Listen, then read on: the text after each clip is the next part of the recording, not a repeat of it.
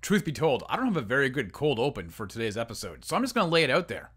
We're talking Batman black and white statue, Norm Breyfogle Batman black and white statue. Oh, yeah. Stay tuned.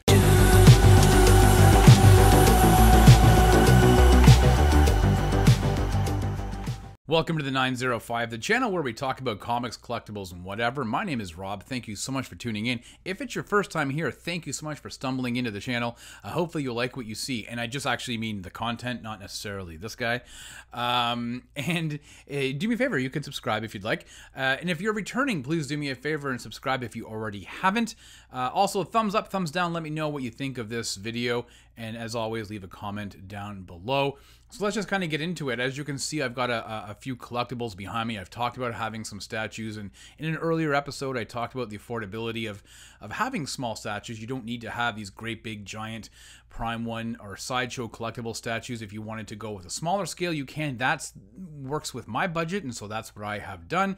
And today I wanted to showcase, I'm just going to go right the, you know, fire off on all cylinders. I'm going to show the one that's in my top three statues. So as you may or may not know, DC Collectibles has been working on this line of Batman black and white statues, and they are essentially exactly what they're they are. They're statues of Batman or of his cast of characters, whether it's Robin or Penguin or Joker or Harley Quinn, whatever, that are are you know painted in black and white. It's based off of a, uh, I believe, it was a 2002 comic book series, um, and so this world has kind of uh, developed and and expanded over the last number of years. I believe they're up to a statue 106. 100 was the Todd McFarlane um, homage statue that they did, which I still haven't been able to get my hands on, but that's a whole other issue altogether.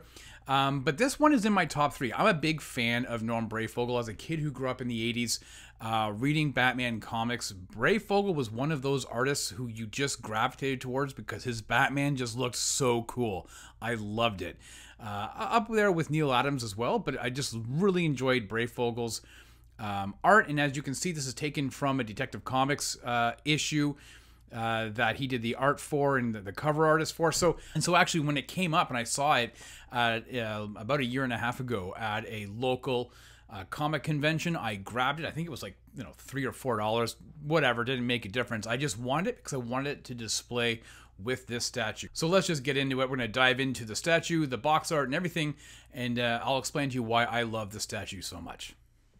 Okay, so there is the comic that I was mentioning before, the Detective Comics 587. Look at that price tag, 75 cents uh, a dollar in Canada. Um, remember when comics were that cheap? Holy moly. At any rate, um, here's the box that it comes in. Um, you know, standard box. It's got the styrofoam in it. You've got a, a picture of what the statue looks like on the side.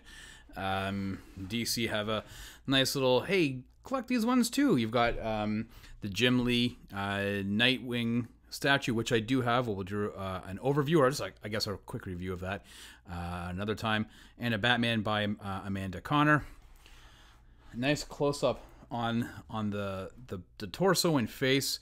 Uh, I just love the the sculpting on, on this statue is just phenomenal, and uh, we'll kind of get into that a little bit later.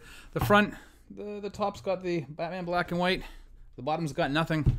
Um, there we go.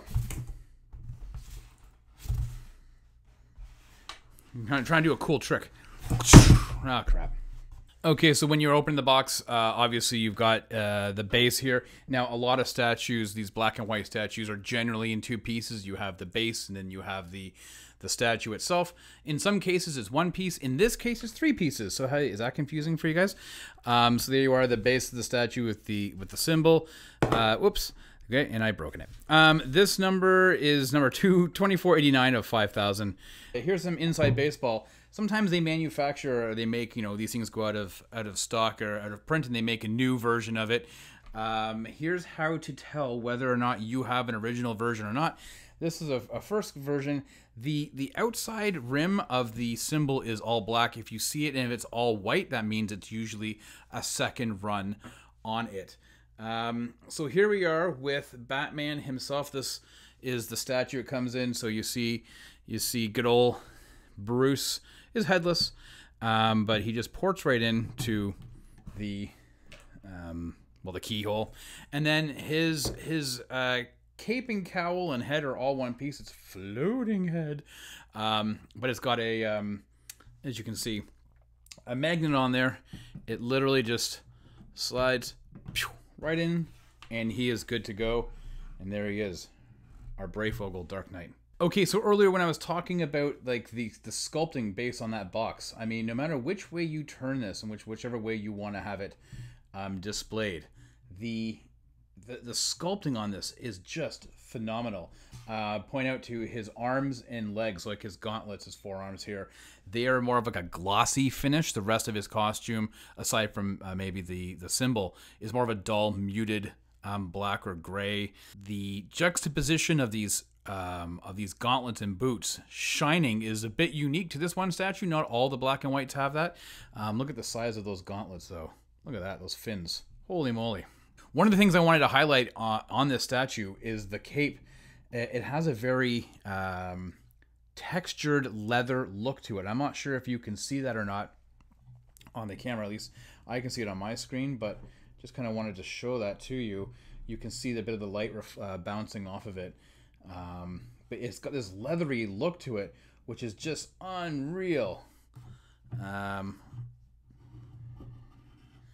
which is not part of the the inside. Now the inside of the cape is like dull muted, and as you can see at the top here, you've got that leather that leather look. So it you know it's just these little things that just add to the enjoyment when you're looking at this statue. It, it stands seven inches tall, which is not that tall at all. Um, it the the width to this highest point is about well, about five inches or so. So you, it's it's easily portable to wherever you want to display it, whether it's a bookshelf, a bookcase, a floating shelf by your computer. Maybe you've got one of those beds with a shelf on it. You want to put it up there. That's fine. Just don't knock it over. Uh, uh, lest be one of these things come and impale you in your eye at the end of the day, it's very easy for you to to put this wherever you want to display your statues. The nice thing about these black and white lines is that it's very, you know, they're all about the same size and they just represent the comic art so well. And it's so gorgeous to look at. Um, I mean, look at the the muscle tone in his legs and whatnot. The the sculpt work on this is absolutely fabulous most of the collectibles and statues that I have are of Batman because I'm a fan of this black and white line. And uh, but out of all of my collectibles, this is definitely in my top three. I love looking at this statue. I display it in my case with the the comic in the background, as you can see, um, and you just can't go wrong. This is a great representation of a classic, classic posing cover as drawn by Norm Breyfogle. It's the, the Batman black and white, um, and this thing just rocks. So there you go. There is my overview or my review of my Batman black and white statue based on the work of Norm Breyfogle. It is sculpted by Chris Dahlberg. I forgot to mention that earlier. I just want to give the guy credit because this statue is absolutely gorgeous. And if you can, try to get your hands on it because you won't be sorry. So contact your local comic shop. Maybe they have one uh, in a storeroom somewhere. Maybe they have another customer who is willing to part with it, or maybe a Facebook group if you can. Um, if you have an opportunity to get your hands on it, if you see it at a local con coming up, I mean, things are opening, so you never know. If you do see it, I would I would highly recommend picking it up. You will not be sorry. It is gorgeous to look at. And hopefully you've enjoyed this review. And if so, do me a favor. Let me know in the comments below. Let me know if you have this or if you're on the hunt for it or what other statues that you may have. Until next time, thank you so much for tuning in. Stay safe. Take care. Hmm? Oh, yeah, yeah. No, it went well. Um, just trying to think the next um, couple of episodes I want to record. Just want to get some more done in advance. I'm not too sure what's next, but I think I, I might have to get into unwrapping and doing a overview of this Batman omnibus by Scott Snyder and Greg Capullo. I don't know. What do you think? Yeah? What do you think? Stay tuned.